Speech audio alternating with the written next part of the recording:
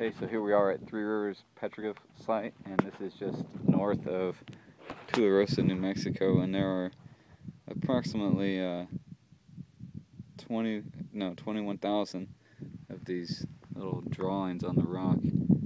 Some of them are hard to see from the camera, but it's uh, pretty amazing. They're all uh, about 600 years old.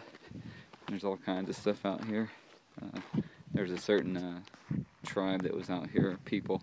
I'll put the name of them in the video description, but I don't even know how to say it. It's so weird.